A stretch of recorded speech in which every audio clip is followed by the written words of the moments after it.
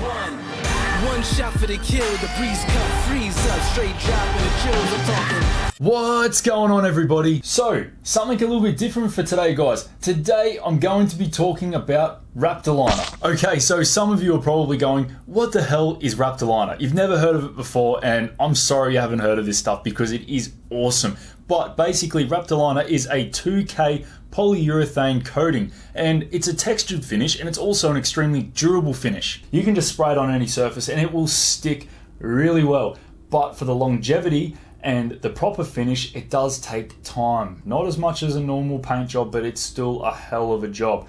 Now, as you can see in this footage here, the vehicle is completely stripped down. Now, this car came into me completely dressed. It had roof rack, front bar, rear bar, side step, scrub bars. It had a lot of gear on it, guys, and I had to completely strip that down because we need to get access to every part of the vehicle possible. So the surface is completely stripped down. Now, as you can see here, I am prepping the surface for the application of the paint. Now you don't want any shiny spots on the paintwork. That is the biggest thing with Raptor Liner. It needs a good abrasive surface to stick to. So you need to rough it up with at least 140 grit sandpaper or something like that. 140, 240 is also fine to get started with, but you really just need to get rid of that shiny finish and make it nice and abrasive. Now, this can be difficult in certain hard to reach areas. So you can get sanding pads from U-POL Raptorliner that make this super easy. So they're actually sandpaper, soft pads that are flexible to get into all those hard to reach areas. I swear by them and I use them for pretty much every job that I do now. Okay, so as you can see here, I'm just going back over the panels and making sure there's no shiny spots or anything that I've missed. I'm just giving it a really good sand with the soft orbital sander here to make sure that it's all even across the board after doing a hand sand. Now you can also notice there that I've used some primer on a spot where I've taken it down to bare metal. That's where the stickers were on the bottom of the doors and I needed to make sure that I got all of that sticker gunk off and some of it went down to not quite bare metal, but it got pretty thin. And some spots will do that. That's that that happens when you're sanding a panel down, guys. But you just need to put some primer over it, and it'll be perfectly fine. So make sure you prime those areas. Okay, so once you've finished doing all your priming, your sanding, and you've taped up all the windows or anything you don't want to get paint on, make sure you do that. Even you can see the wheels are covered in this uh, in this footage here. Now that is really important because this stuff sticks like to a blanket and anything you don't want to stick to it will stick to. So if it's in the area cover it with something guys. Make sure you do that. Okay so once you've done that you've prepped the panels. Now you've got them ready for paint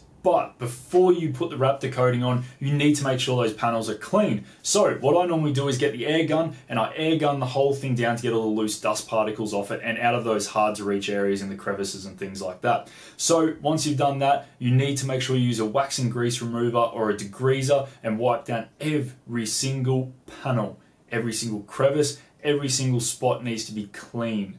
You need to make sure of this, otherwise the Raptorliner won't stick very well and it will eventually lift off. If you have any shiny spots or corners which are hard to get to to sand and all that sort of stuff, they still need to be clean, but you can use Raptor Liners adhesive promoter. It's called a Grip 4, and that is really important to use. I pretty much use it on any of the curved areas on a vehicle, regardless of how well I've sanded it. I always just put a line of it down on any of those areas just to help the Raptorliner stick to those sort of areas that are hard to reach or even high touch areas and things like that. Okay, so now it's time to mix the Raptor liner. Now, Raptor liner is a 3 to 1 mixing ratio of hardener. Okay, so that's all written on the box in the instruction manual, and the hardener is supplied with each kit, so it makes it nice and easy to use the proper stuff that you're meant to with the Raptor liner. If you're tinting Raptor liner, it's a 10% tint ratio. Okay, so you just follow that with a measuring cup and you'll be fine. Now, the other thing I want to mention is some people talk about using gravity fed guns and things like that to get different textures. It's not a bad option, but you do have to reduce the wrap the Raptorliner down, thin it out to use a gravity fed gun with a bigger nozzle. This can cause durability problems with the Raptor paint itself and how thin it is and things like that for the end result. I think for interiors and things like that and, and not places that need to be super durable and are going to are going to cop a lot of damage or hits, especially on a full drive bar work, you can thin it down. That's no problems at all. I personally never thin down Raptor liner. I think it's perfect out of the box. You really just need to get your pressures right out of your out of your spray gun. I generally shoot anywhere from 60 to 80 psi, and you need to make sure that you're standing the right distance away and using the right gun. So you do get a standard Schutz gun with the kits most of the time, and there's nothing wrong with that. It does a great job. The best gun on the market to spray Raptor liner with is the Raptor liner Very gun.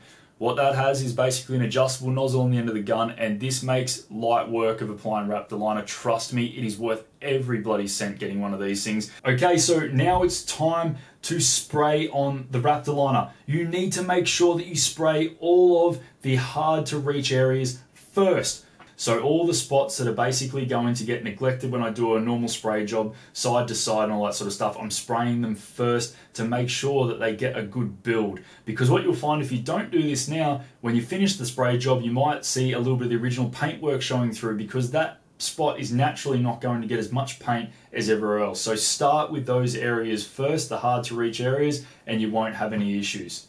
Now, if you're painting the door jambs, you want to make sure you start there with the inside of the doors and the door jambs and inside the bonnet, uh, barn door area, things like that. You need to start there because, guys, this is going to be where you need to target a lot of Raptor liner. It's a high touch area and you're going to want to get a good coat on there no matter what. So start there and then work on the outside, the easier parts of the vehicle. So now you need to continue doing a light coat over the rest of the panel work. Now this isn't a covering coat, you just need to basically get a bit of Raptor sprayed on the panels. It doesn't matter if there's a bit of the original colour showing through still, this is just the first coat. So just a nice light coat. Now the distance that you're standing away from the vehicle is basically going to determine the texture and the build quality of the paint. So I recommend testing this on a, on a test panel before you start painting the car to get your desired finish on both the Very gun and also your distances and your pressure of the gun itself. Although on the first coat you can play around with this, you can change distances a little bit uh, and it's not going to be too bad because you've still got two coats to go and also a dust coat, but we'll get onto that in a sec and you're going to find out that you run out of Raptor liner relatively quickly, guys. Um, the bottles feel like there's a lot of paint in there, but it doesn't go as far as you'd think. So you will find yourself mixing up bottles halfway through a spray job, and that's fine. You know, that's perfectly fine. Make sure you give them a really good shake, though. That makes all the difference. Alrighty guys, so we've done the first coat of Raptor liner, a nice light coat just to give it a build and start the process. Now, you need to leave this dry for at least 45 minutes. I personally like to let it dry, uh, or the flash time they call it, sorry, the flash time for at least an hour to an hour and a half if I can allow for it. I just find this to be better and it gives it a better chance to set and get ready for the next layer of paint.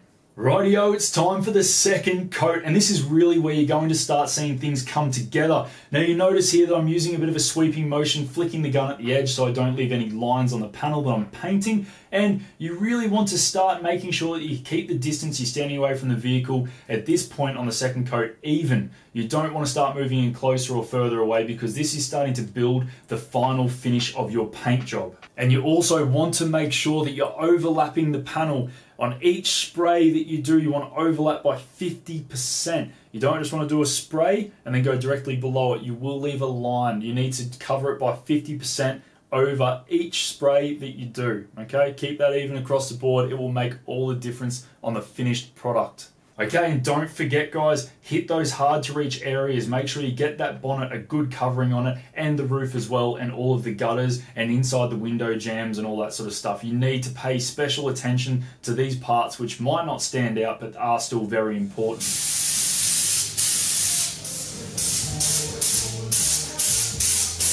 Alrighty, so I personally do four coats of Raptor liner on anything I paint. Now, they do vary a little bit, they're not all the same. The first one's obviously that light coat, second one's a covering coat, and the third one's basically my finishing coat, making sure that it's very even across the board. Now, the fourth one is where it all comes together. This is what I call the dust coat. Now, the dust coat basically means that I'll stand further back from the vehicle, or the panel, or the bar work, or whatever you're painting, and just drop a nice, even coat across the whole thing. And this is going to make sure that it covers up any slight imperfections that are left um, or any imperfections that you might have in your panel. This will really help blend things in, guys, and make it look very uniform across the board.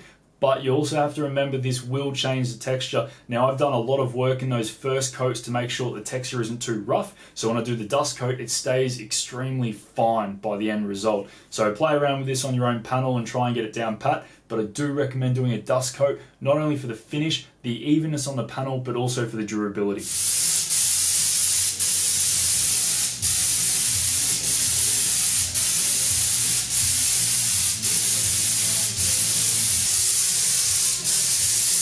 Okay, so this is some first person shooter angles that I use my Lumix. This isn't a GoPro, this is a proper camera that I use to do some angles that are a bit different, had a bit of fun with it. I'm finishing up the door jambs, so nice high build on the door jambs, doing a lot of coats and making sure that they're going to stand up to the test of time. And that pretty much wraps up the paint job now, guys. So What's left to do after you do the paint job is make sure you rip the tape off almost straight away. Give it a little bit of dry time if you want to, but within 45 minutes to an hour, make sure you rip off all the tape on the panels. Otherwise, that will pull up some of the Raptor if it's you know gone across onto the tape and things like that. It can it can cause you dramas. So better just to pull it off now if you're happy with the end result. If not, do another coat. And then from there, put everything back together. I'm not going to go through that in this one. I'm not going to do the whole process because it took ages to rebuild this car. There was so many bits and pieces to put back on it, but the end result was absolutely something special. So I'll show you a few photos overlapping this now of the end result and certain things. And I'll also put a video of the customer driving off in the car now, so that looks really good in the different lights hitting the panels. It changes color a little bit. There's also a little bit of fleck in this one, so it gave a little bit of a shine uh, when it hits the light in certain spots. So end result, guys, absolutely unreal. The customer was stoked with it as well, and all was good. This is just one of the cars that I've painted, guys, and something that I really wanted to share with you and how the process happens. And sorry I didn't go into much detail on it like I normally would, start to finish, showing you absolutely everything. Maybe I'll do one with my tub on the Navara. I'll paint the tub. I've been meaning to do it, so I might get in and do that, and that'll give me a smaller project, and I might be able to show you guys how to mix it, a bit more in-depth process on the gun, displaying how it all works and things like that as well. So stay tuned for that one, guys. I'll make that happen. I'll do something soon for you and uh, paint the tub of my Navara. Turning dreams into reality. In the lab with the formula and chemistry. The memories spark and motivate and make the industry shake. We put the balls in the place. I'm talking one, one chance at best, yes. Painting pictures for the culture, keep the brushes fresh. Flip the cover with the drummer passion.